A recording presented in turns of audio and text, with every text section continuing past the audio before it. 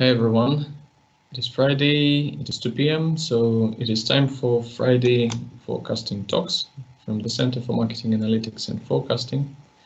And uh, this will be the last webinar that we have in this season. We will be thinking what to do next and how to amend them. Uh, today we will have a presentation by Evangelos Spiliotis. Uh, he's a, a professor in Athens University um, I think he will introduce himself later, but uh, before he does that, uh, I wanted to say a couple of words about uh, the center. That's what I typically do anyway. So the Center for Marketing Analytics and Forecasting provides a variety of services. We are not just uh, a research-based center. We are interested in working with companies and trying to understand what impact we can make and how we can make the world a better place. So we have a variety of services that we provide, including bespoke uh, short courses, consultancy, master summer projects, and so on. We also help uh, a couple of software developers, uh, software development companies, uh, and we have opportunities for PhD research or KTP, knowledge transfer partnership. Our expertise is uh, in forecasting, obviously, marketing analytics, and more specifically, we focus on demand forecasting and supply chain forecasting. So all these areas that companies uh, might be interested in to improve their inventory or to improve their marketing decisions, that's our area of expertise. And you can see the list of members below. Uh, we have a variety of members, as you see, with different interests, because uh, some of us work uh, focus on machine learning, the others focus on statistical methods for forecasting, and the others on judgments, judgmental adjustments, and so on. Right, so how to keep in touch with us? We have a variety of ways. There is a Twitter account, Lancaster CMAF, uh, where we publish uh, events related to forecasting and uh, things happening in the center. LinkedIn is another way of uh, getting in touch with us. Email, sort of old school, but uh, quite good way of getting in touch. Uh, the website and there is a YouTube channel where we typically upload videos from these events and from other events that the center holds. Right, uh, let's uh, go to the presentation. So, uh, Vangelis, can you please uh, start sharing your screen? Uh, hi, Van. Thank you uh, for having him for having me here. Can you share this? yeah, yeah, it's the okay. presentation. Yeah, good. All good. Okay. okay, so I'm Vangelis Spiliotis. I'm a research associate at the Forecasting Strategy Unit at the National Technical University of Athens. Uh, my research interests are more about uh, forecasting competitions, uh, machine learning for time series forecasting, um, and uh, also like a lot uh, applications for retail forecasting and energy forecasting. so today I'm gonna focus more on the machine learning uh, aspect of uh, my research agenda and um, uh, more specifically on some um, techniques, let's say, that one can use in order to make um, his uh, machine learning model generalize better or in simple words uh, make it produce more accurate forecasts for uh, data that the model hasn't uh, seen while training. So to get uh, started, uh, we've all uh, heard about uh, machine learning. Uh, we've seen a lot of successful applications of machine learning in emergency pitch recognition, customer support, fraud detection. Okay, so lots of applications where machine learning has become the standard for supporting decisions. Uh, so naturally, over the last uh, uh, decade, machine learning methods have uh, also found a lot of applications in the field of forecasting, particularly neural networks, various forms of neural networks, and uh, more recently, we have also seen some uh, powerful um, uh, tree-based algorithms in order to, to generate forecasts.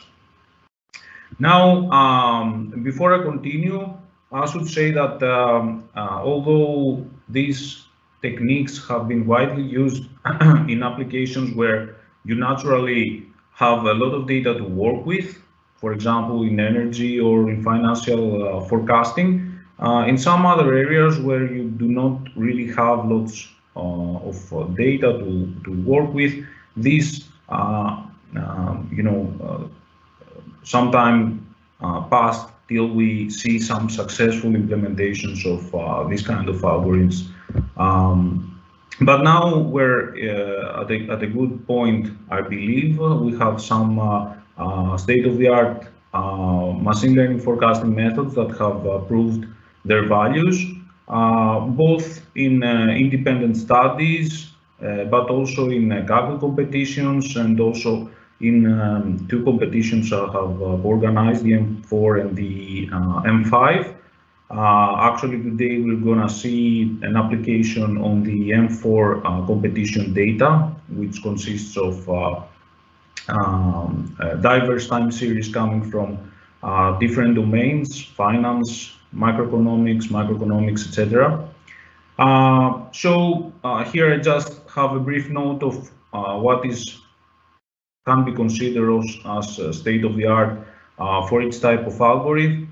Uh, for neural networks, we uh, currently have the DeepAR uh, from Amazon. It's basically a probabilistic autoregressive recurrent neural network.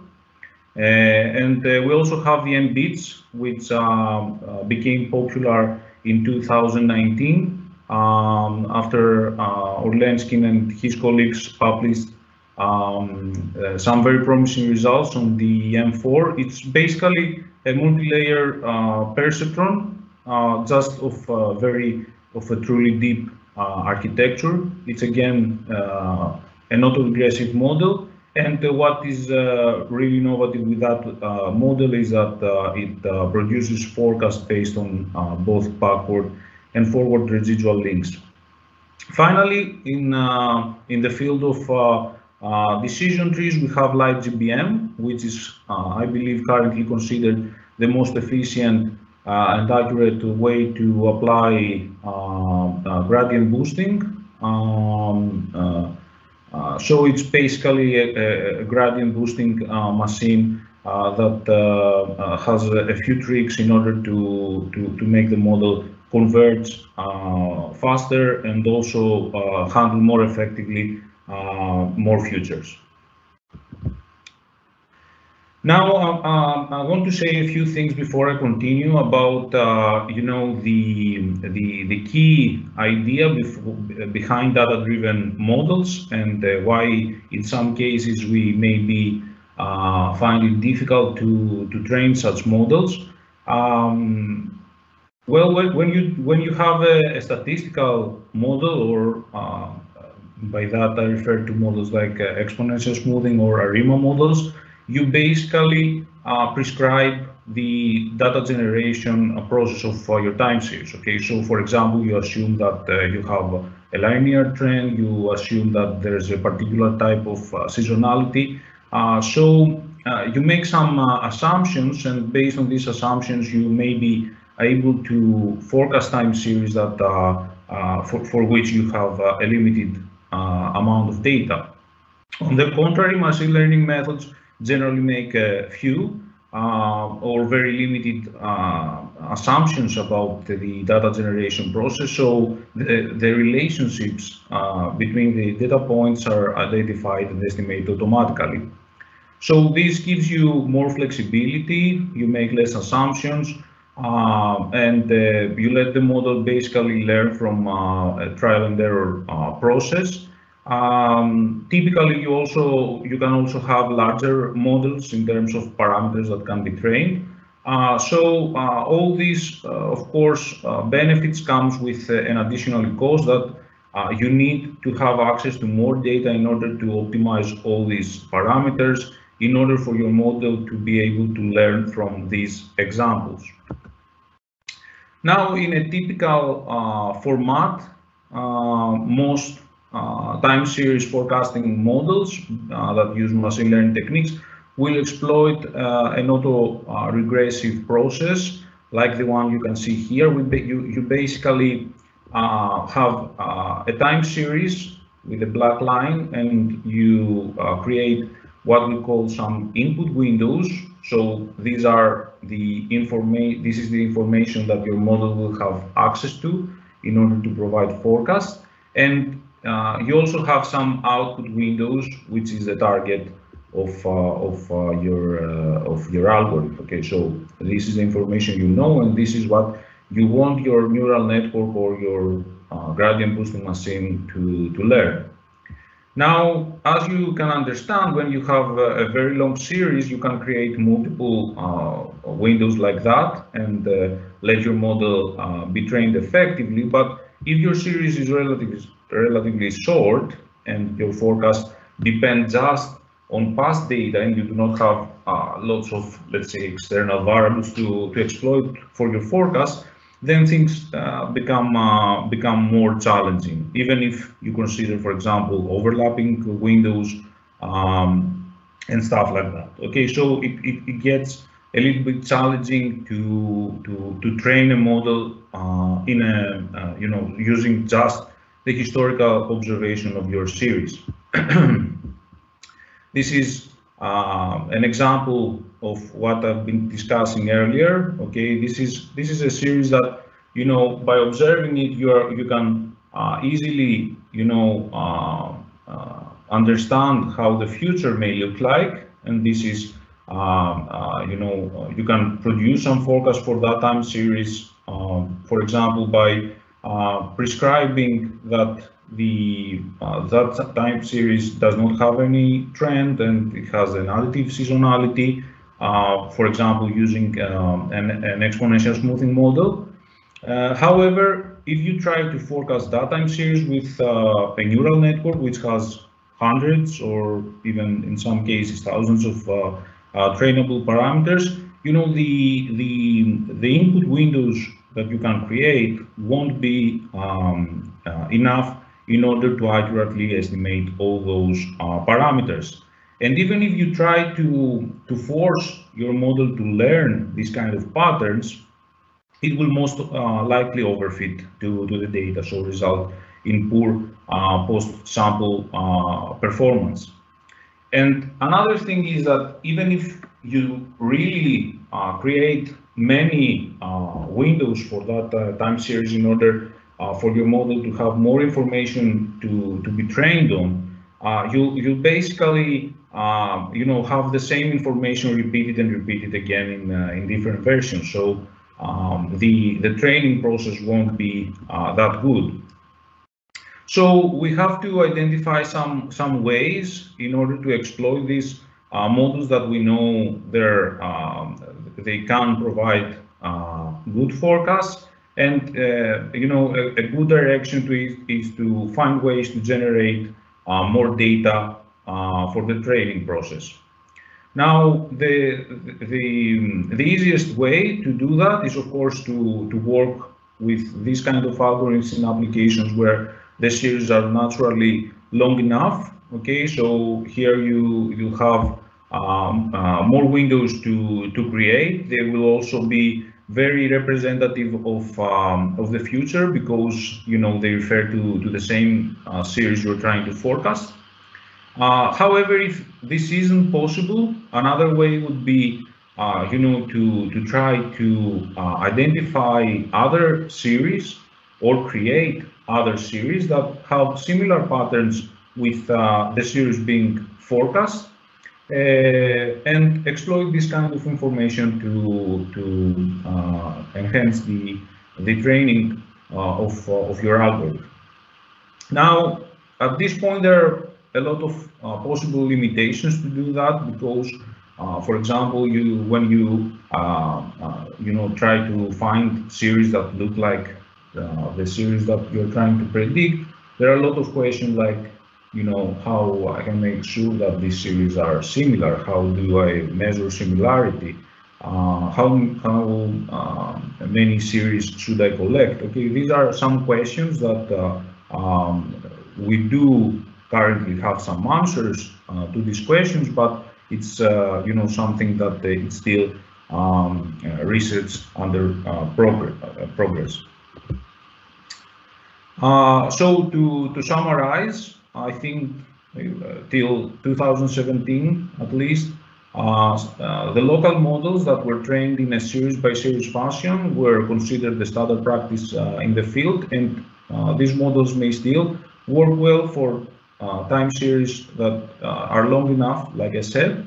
Um, actually, there was uh, a pretty highly cited paper by myself and Professor Makridakis on a comparison of these uh, local, locally trained machine learning models and some statistical models, where uh, we showed that even you know simple statistical models work better than this uh, kind of of, of models.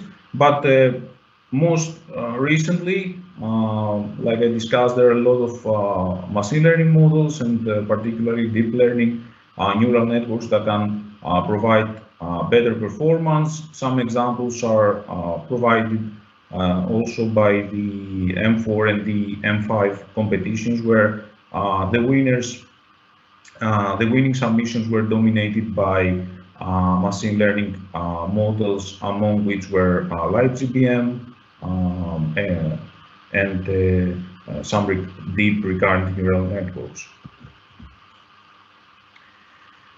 Uh, so, um, like I said, the, we would, would ideally uh, want to uh, create more, more data to train our, our models. The first option would be to try to collect more real series that uh, look similar to the series being uh, predicted. This is very time consuming. Personally, I have uh, uh, created a, a, data set that uh, a database that consists of uh, about 1 million time series collected from various uh, public uh, resources. And actually, the, the data set of the M4 competition is part of was part of that database. Um, so you can use a dataset like that to, to have more series to work with, but this is really time consuming and you also have to, you know, prepare uh, uh, some infrastructures to, to collect this, this type of data. And also it's very difficult to identify um, publicly available series that really look similar to the ones you want to predict. So this sounds like a good idea, but it's not always applicable. Uh, the second way would be to try to generate some artificial series. Um, again, this may be time consuming, but at least you know you have to to identify an algorithm that uh, provides that generates forecast that generates uh, series that look similar to the ones you're trying to to predict. So it's more straightforward. And um, in fact, there are a lot of um, um, algorithms out there to do that. Okay, so uh, you have a, a, good point to, to start with. Uh, and the third idea that I'll be discussing more about is uh, augmenting existing series. So having some techniques that can help you uh, increase the sample of your data.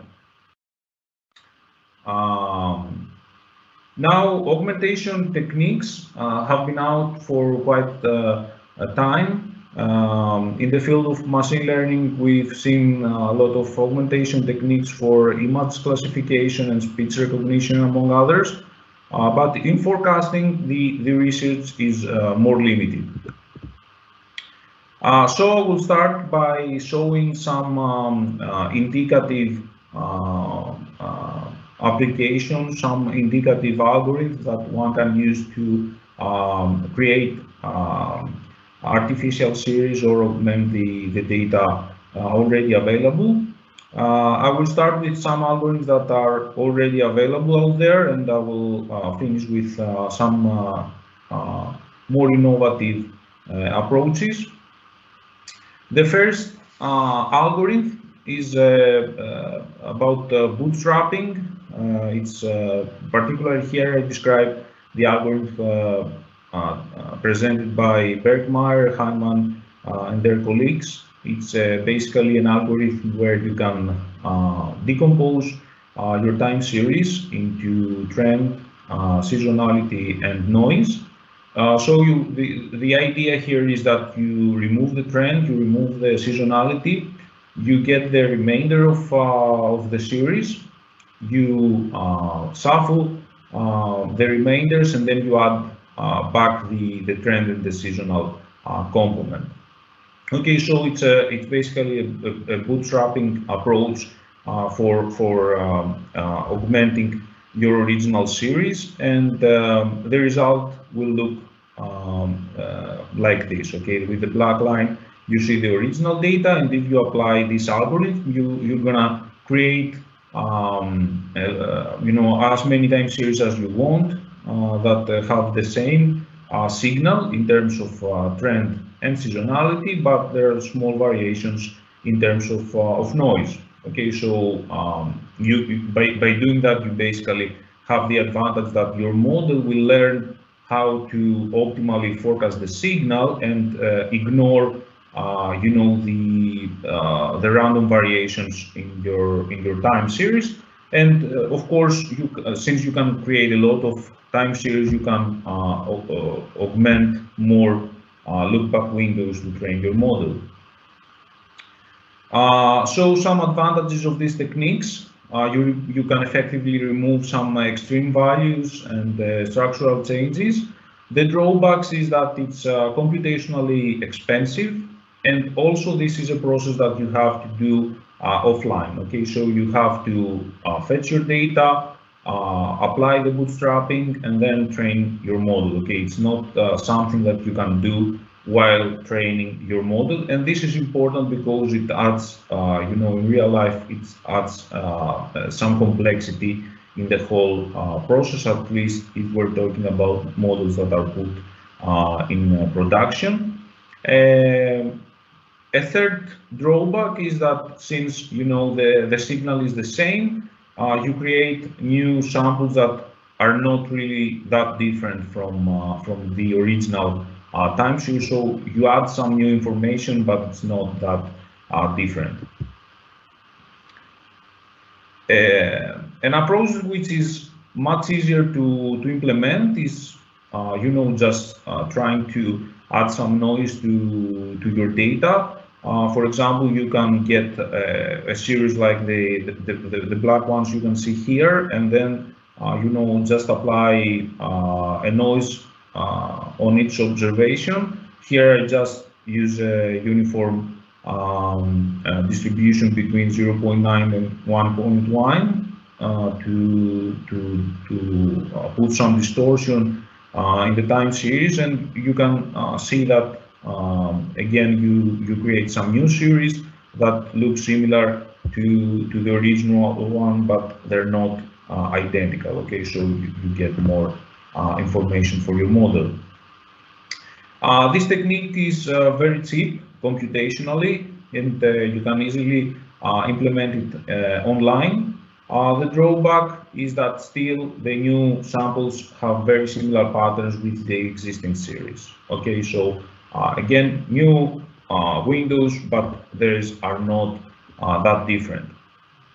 Another technique we saw in the M5 uncertainty competition was, uh, you know, just um, getting your time series and uh, uh, shifting uh, uh, randomly the series, uh, the, the level of, of the series in order to create um, new ones. this technique will probably work well for um, regression trees where we typically do not scale our data uh, however, as you can understand, when we are working with neural networks where scaling will typically take place, this technique uh, is not applicable.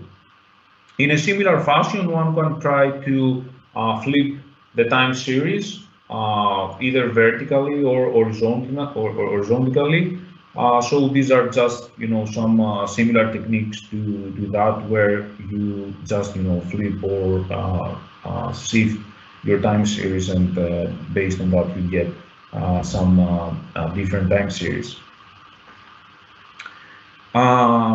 another technique which is uh, uh, also easy to implement and it does uh, manage to provide different time series for, for your model is a technique where you basically create some windows, some uh, input windows for your neural network, and you just randomly select um, um, two or three or five or as many windows as you wish, and you uh, combine those two windows in order to get a new one.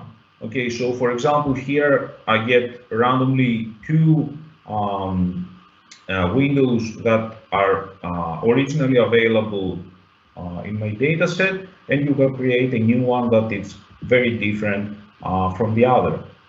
Now, uh, a, a, an important thing to, to, to notice here is that um, in order for your new series to be diverse, the number of samples being combined has to be relatively small because if you think about it, uh, when uh, when the number of samples uh, combined gets very large, you basically end up creating something like uh, you know, how the average time series of your dataset looks like.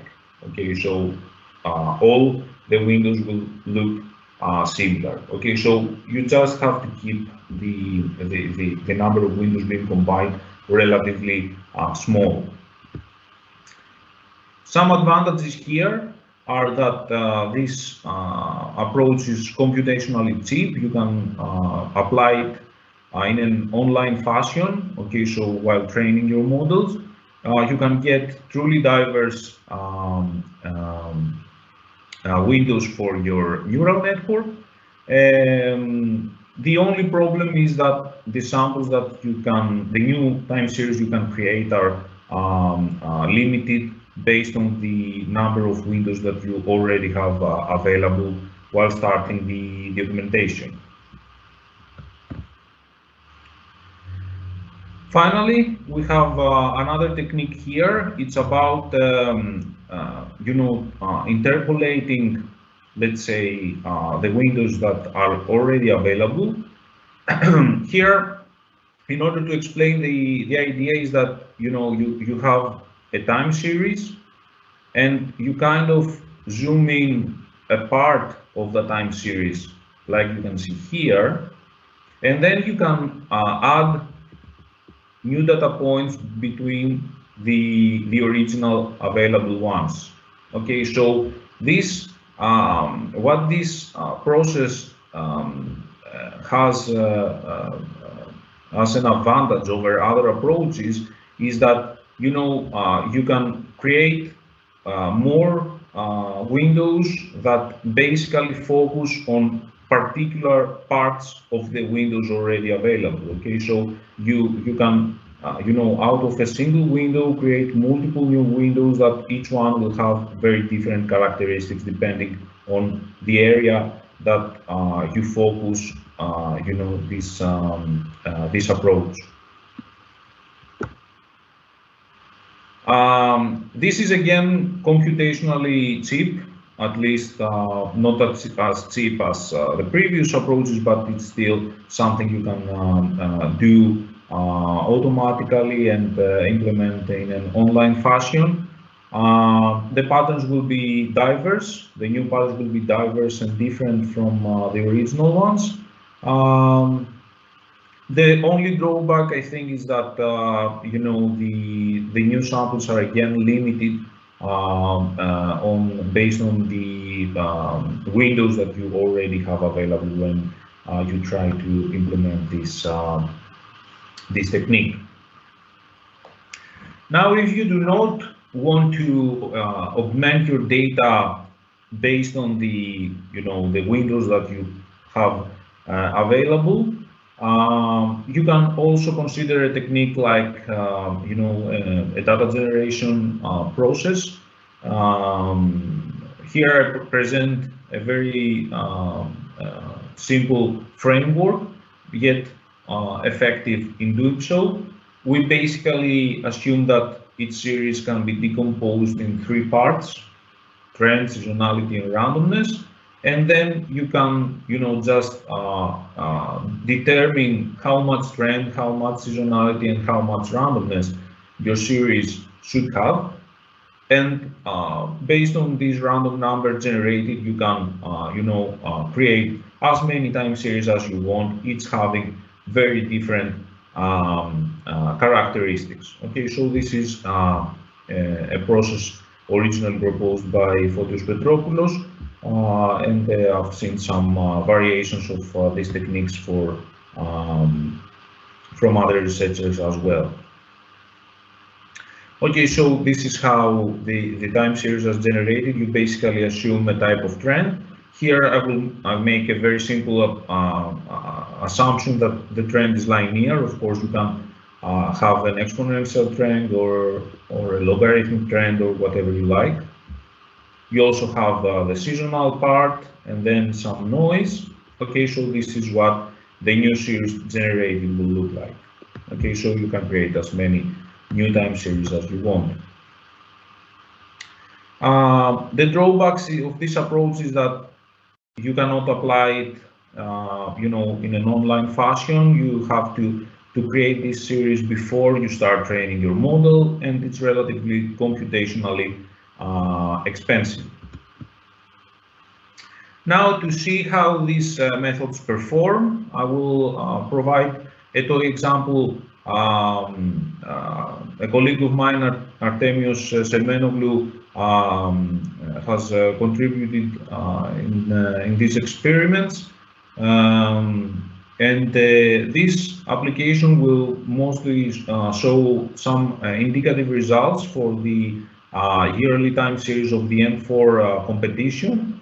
Um, of course, some work must be made on uh, other types of data, but uh, I just uh, want to, to keep this uh, quite simple for, for this presentation. I'm going to use um, a simple multi-layer perceptron to, to, provide some some forecasts. The idea here is to, you know, I want to show the potential of, of the augmentation techniques and um, at this stage uh, not you know how uh, these augmentation techniques uh, may work with other types of, of, neural networks. Okay, so we have an input window of 18 observations, and I'm gonna forecasting the, the following six years. This is how the, the, the perceptron will, will look like. And this is how we train our, our model we have, like I said, 18 um, uh, uh, inputs uh, and six outputs. So for each series, we create, um, we generate some input windows, some output windows, and we use that to, to train our models. in order also to see how the augmentation techniques work in respect with uh, the size of the original data set. Uh, we will consider three different subsets, a small, a medium, and a large one. Okay, so um, uh, here, for example, you have very few time series and you will try to generate more to train your model. Uh, while here you will already have a lot of series and you will just try to, to get more uh, out of your model by uh, uh, adding more series to, to the existing one. I'm gonna measure the performance using the, the MASE. And uh, I will also consider two uh, benchmarks for this. The uh, a perceptron that is trained using just the last window of its time series and uh, a neural network that is trained with all possible windows. Okay, so here, for example, you can see that uh, in the small dataset, I have 134 series. If I use all possible windows, which is, let's say, the natural way to, to augment your dataset to get the most out of the, the data you already have, you will have uh, 2.5 thousand uh, uh, input windows to train your model. For the augmentation techniques, I'm, I'm gonna double that. Okay, so I'm gonna create double the series of, of, of uh, uh, having, you know, using all possible windows. So here are the benchmark. Theta was the top performing statistical local model uh, in the M4 competition, so this is why I have it uh, listed here. Uh, these are the two MLPs, and this is the performance for each of the um, five techniques, augmentation techniques I presented earlier. Now, what we can see here, first of all, is that when you start, you know, uh, and use a, a, global model using the last uh, windows, you can see that you get a, a, good improvement over the, the local statistical model. Okay, so this shows the, the potential of having a, a single global model over using um, a, a statistical model. And we can also see that when you increase and use all possible windows, you get a very um, a significant improvement over the, the previous model. Okay, so uh, there's a, a, nice drop here uh, in terms of performance. Now, uh, when you when you start augmenting your data, you can see that the improvements uh, basically depend on how large your initial data set was. For example, here you can see that since the, the data points were relatively small, when you increase your sample, you tend, you generally tend to get better results. Okay, for some techniques, the improvements may be small or maybe uh, slightly worse, but uh, in most of the cases you can see some uh, some improvements. Now these these improvements, as you can see, drop when you get to larger data set, exactly because for these data sets you already have enough information to train that particular model.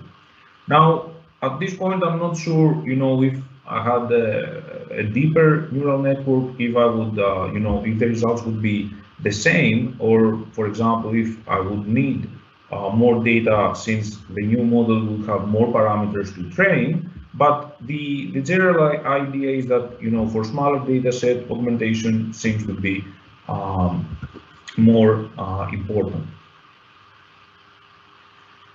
Um, I, I, will finish in um, uh, three minutes. I just want to to to say a few words about um, uh, another thing, another topic, which is uh, about um, cross validation. Um, I, I, basically feel uh, that these kind of techniques should work, you know, horizontally above your your uh, modeling process because, for example, now we discussed about augmentation, how we can, you know, make sure that uh, which augmentation techniques work, works better on average, or how exactly you should um, uh, set up this technique in order to work best, or if we go further, what kind of hyperparameters I should be using, how large the input window uh, should be used, the, the, the, the length of the window should be, uh, how an ensemble should work. Okay, these are just some of the questions we, we have to consider when we work with machine learning models in general. And in order to avoid overfitting and uh, uh, make sure our, uh, you know, our validations and um, our decisions work also well for the post-sample um, uh, our time series, this is something uh, important. Now, originally, uh, in time series forecasting, we consider what we call the rolling origin evaluations. Basically, you you have a time series. We start we start with uh, you know having um, the first part of the time series. You forecast the following um, uh, observations, then you reveal these observations. You forecast the next, and so on. Okay, this is the natural way to apply uh, an evaluation and uh, determine based on that, you know, which are the best, uh, the best setup for your model. The key issue here is that the areas for used are completely unrepresented in the uh, measurements of the performance. So you do not put particular weight on the last uh, observation, which should be more important. and, and also um, uh, uh, the early folds are also uh, fit on very limited training data. Okay, so these are some key problems here. Uh, so another solution would be to use what we call purged k-fold validation. It's basically uh, uh, similar to the k-fold validation, okay, but the key point here is that you remove some observations from, you know, the, the boundaries of each fold in order to make sure that there is no leakage between uh, it's uh, the, the, individual folds. Okay, so based on that, you can uh, basically, you know, use uh, even future observations uh, to train your model and still uh, have a result that is um, representative um, of your model's performance. And even and if you want to, to go further on that direction, you can also consider uh, what is called nested cross-validation. You basically uh, have uh, a, validation within uh, your validation. Okay, so uh, instead of selecting based on what works well on the cross-validation, you um, uh, you know include this in your modeling process. Sorry for that, Ivan. I think it, it took more like it took more than it should. So I will stop and uh,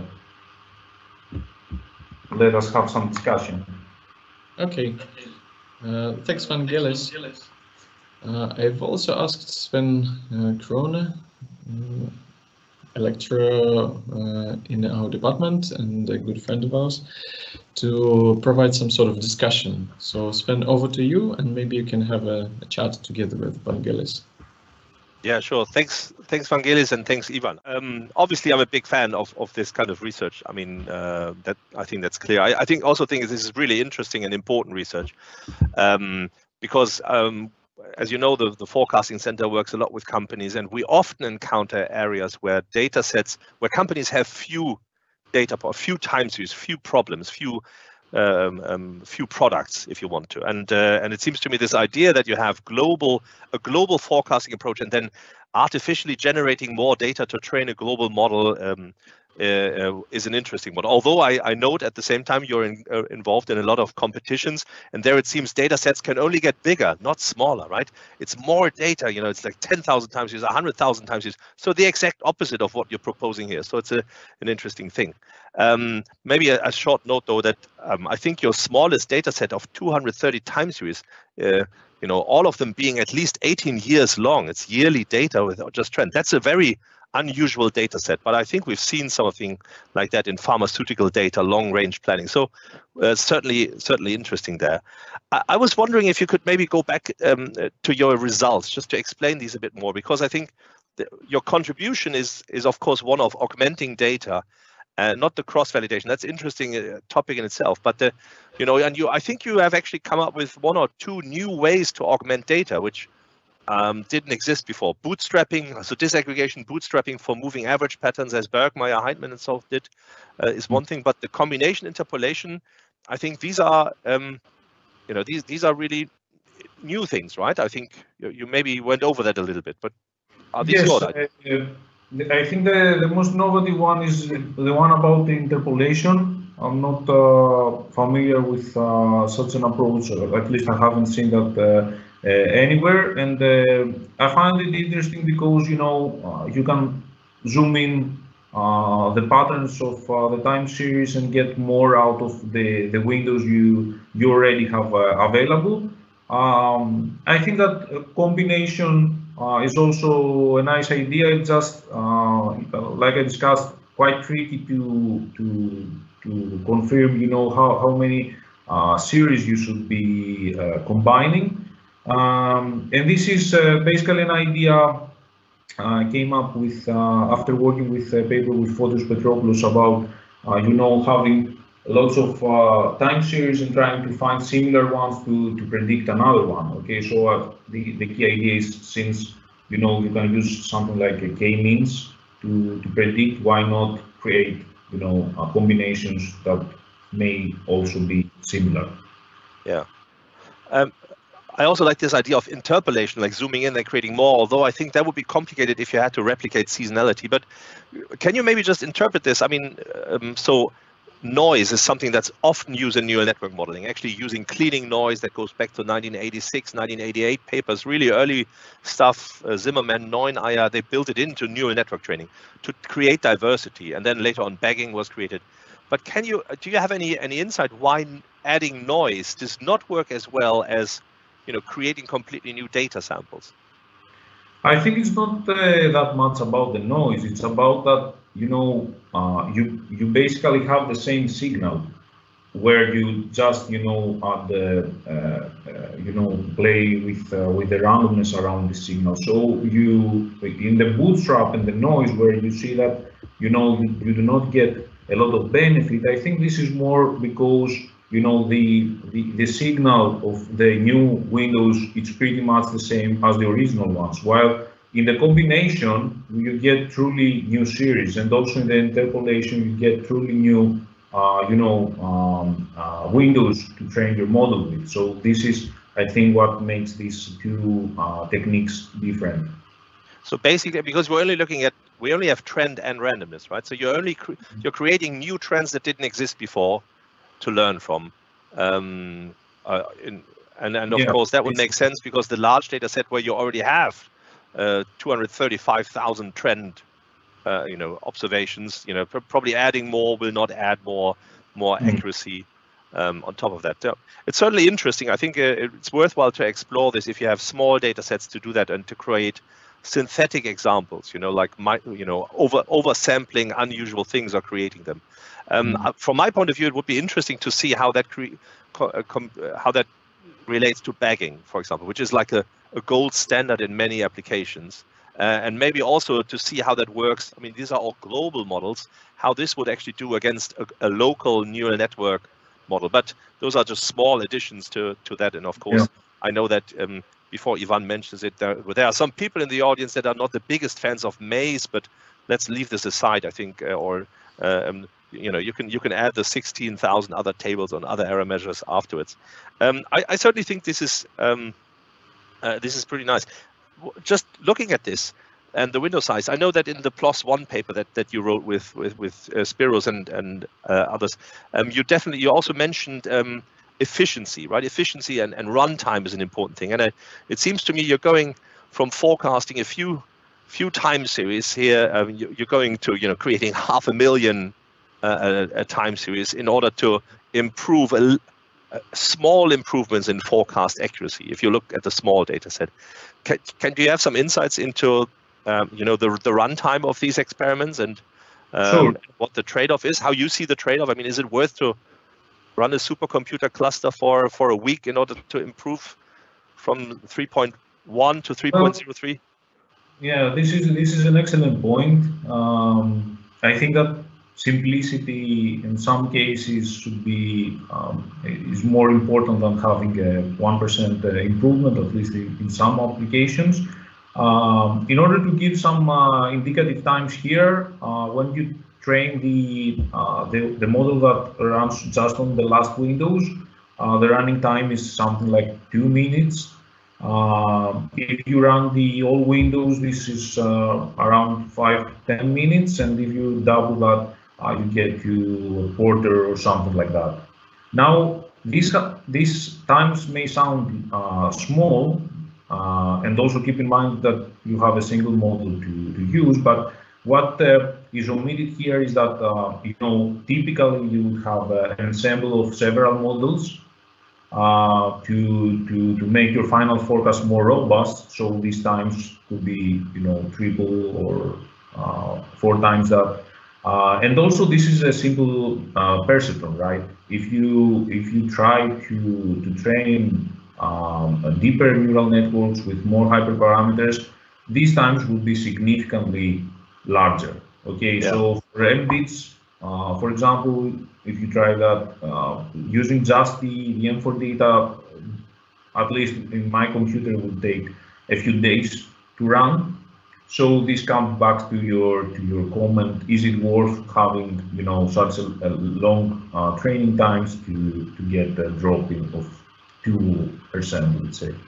Yeah, but these are short training times. I mean, normally when you look at building a, a deep learning face recognition or, or, speech recognition model, we're talking about um, you know millions of US dollars invested in runtime, like a model that you know we're, we're training a model for 500 500,000 uh, US uh, dollars or something, you know, just pure mm-hmm. runtime. Uh, one thing is the training time, then there's the execution time afterwards. Basically, you know, this is this is you know using up more compute power at the moment than than bitcoins are. So, well, you know, wherever that discussion goes on on green AI, but um, that that's certainly short. As a neural network guy, maybe just allow me uh, just then the question: how, how, did you come up? I mean, a, a 27 layer multi-layer perceptron you know that's pretty unusual without any convolutions without any uh, um, long short-term recursion so it's not it's a, it's an autoregressive um, it's basically a, a, pattern matching between 18 historical lags and the next uh, six steps ahead right? So it's more, there... something like a you know you could probably model this as a boltzmann machine or something else. But um, how sensitive are the findings to, to this network architecture? Does it only work with this, or does it does it not matter whether you use 10 or 12 or 15 or 27? Okay, uh, first of all, just uh, because this is a, a misunderstanding, I have 20, 27 uh, nodes with three layers. So the 27 ah, okay. is basically because I have uh, 18 input nodes, you know, I just have something larger than that. Uh, now, in terms of uh, robustness, um, the you know using larger larger uh, um, you know deeper uh, neural networks didn't make any difference, just uh, increased slightly the the training process. What I've seen that uh, makes a lot of difference is you know how you change the size of the input window uh, this this can really make a difference. Here I have optimized based on some validations in order to you know get the result that I need 18 observations to forecast the following six.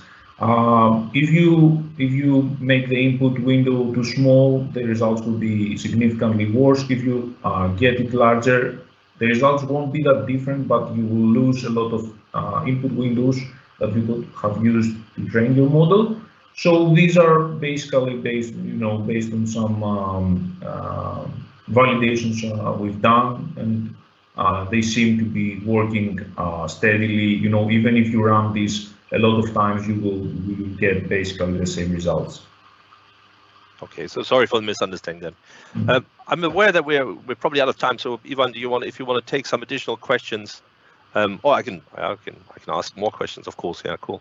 Um, I, I mean, this idea, I mean, now just maybe getting away from this research, which I think is interesting, and you probably can add a, a, few more results to this to, to make it even more compelling. Going to this question of global versus local. I mean, up until recently, I mean, DeepAR was is, is, is a global approach, you know, from Amazon, um, and, and, particularly looks at new new products, so short time series. And you also have a problem of short time series here.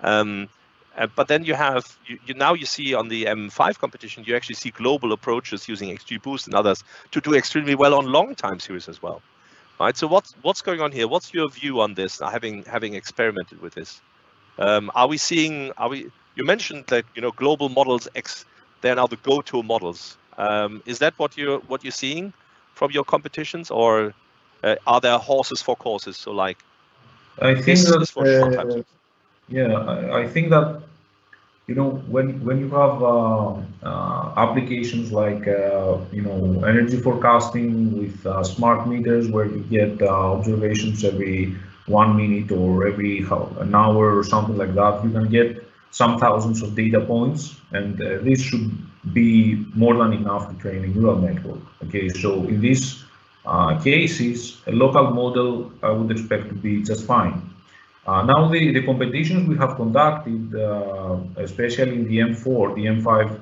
you know, had uh, included daily time series, so you could have used some local models quite effectively. In the M4, the you know you, you deal with monthly data where you will have something like 10 years of data. Okay, so we're talking about 100 uh, observations, more or less. Uh, so if you if you uh, you, you have to, to use, I think, uh, a, a, a, shallow neural network in order to be able to, to train with 100 observations. So this is why I suggest that you know global models is the way to go when you have series that are relatively short. In applications where you have lots of data, you should just you know uh, you should probably work well also with um, with local models. Another thing that I find important with global models, and this goes back to your nice comment about computational speed, is that for example, in the M4, where you have 100,000 time series, if you wanted to implement local models, you will have to to uh, to train 100,000 models, right? And this, uh, because I, I, had a benchmark like that in the competition, it took ages to to, to compute. While with global models, you can have a single, you know, model it trains in about 10 minutes, and you're good to go.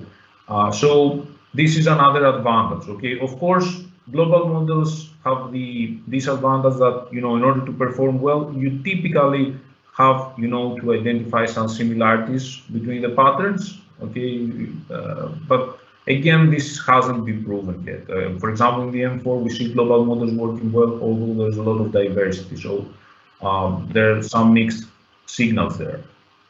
Yeah well maybe just decomposition is working well and then you train the global models on the remainder that's that's a cheeky yeah. way of uh, saying that but i'm a big fan of decomposition and the theta method as well anyway ivan uh, thanks yes. Vangelis. it's really interesting thank you both uh, thanks for the exciting discussion we have a couple of questions from the audience so the first question is from Leonidas. and he's asking, have you tried to add autocorrelation structure in the noise components?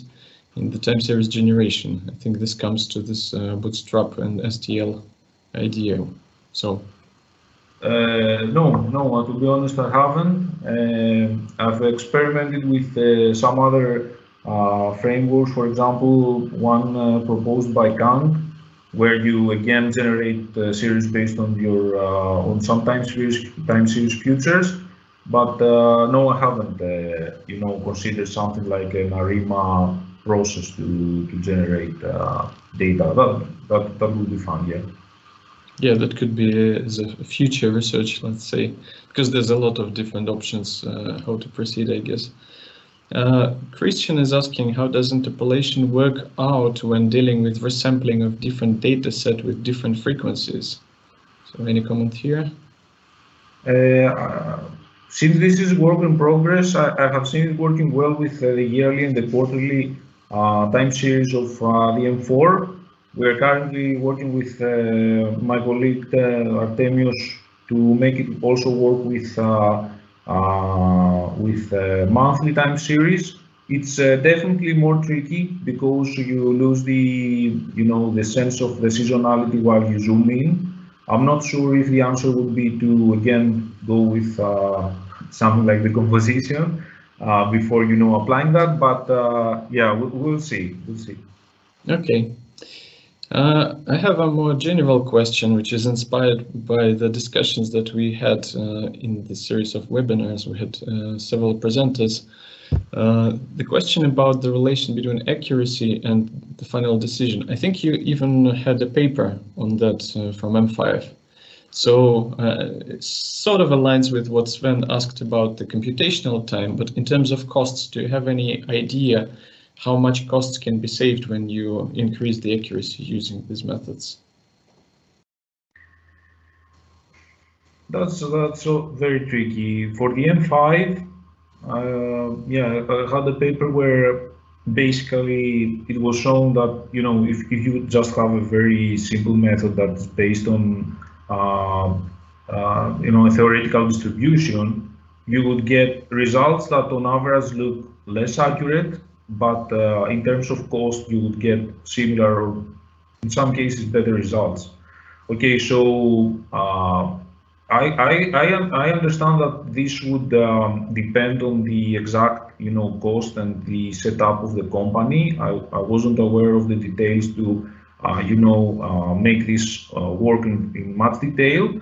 However, because I'm really interested in that topic, I have a, a PhD student, uh, Vangelis Theodorou, and, and um, we're currently working actually on a setup where you uh, try to estimate this benefit through accuracy. So you have you basically have a model where you know you simulate um, you know how the, the inventory would change by making different decisions and having different accuracy, and then you have a connection. Uh, so if when when this is done, uh, uh, yeah, I will have some uh, better answers. Okay, uh, but the cost is definitely computational cost is is definitely uh, an issue. We have another work in progress with Fotios Petropoulos where we you know try to see you know how much uh, but, uh, uh, you know, money you can save when working on cloud, when working, for example, with simple models over um, machine learning ones, and the results are, um, you know, very very interesting because there's also the climate impact uh, apart from uh, from money. So yeah, this is this is definitely worth checking. Right. Thanks. Uh, I understand that it's complicated. It's one complicated question. That's why I decided to ask it, you know, to provoke additional discussion. But thanks a lot for the presentation. Uh, thank you, Vangelis. Thank you, Sven, for the comments and discussion. And thanks everyone for attending. Uh, we will go on a break now and we will see what happens next. So see you all online. Bye-bye. Bye. -bye. Bye.